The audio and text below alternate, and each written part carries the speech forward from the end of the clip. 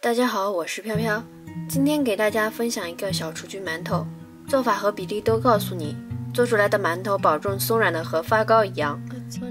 首先呢，我们取面粉两百克，酵母一点五克，加一克食盐，六克糖粉，用一百毫升的温水化开。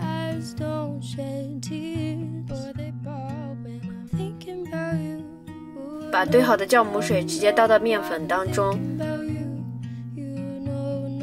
搅拌均匀就可以开始揉面了。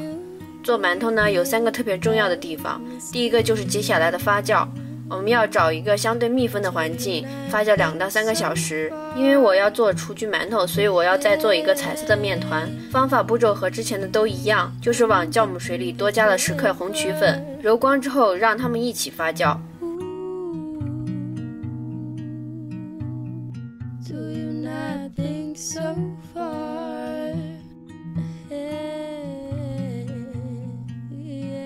面团一定要发酵成像这样的蜂窝状，才能开始揉面排气。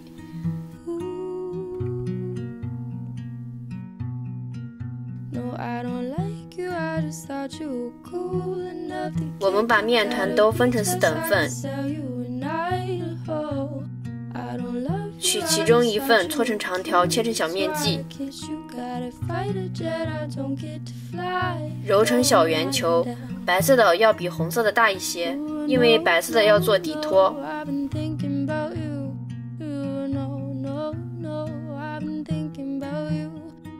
把面球擀薄之后，用刮面板轻轻的压线成米字状，把这八条线中间连着，像这样边上给它切开成花瓣状，将一片花瓣中间压两条线成八字形状。在花瓣两边用手往回捏紧，所有的花瓣都捏好，然后按照上述的办法做一个白色的花。做好之后呢，把红色的花放上去，最后搓一个小面团放中间做花蕊，一朵雏菊就做好了。接下来就是蒸馒头第二个重要的地方，二次醒发，让做好的花型冷水上锅，醒发至变大。然后再开大火蒸十八分钟，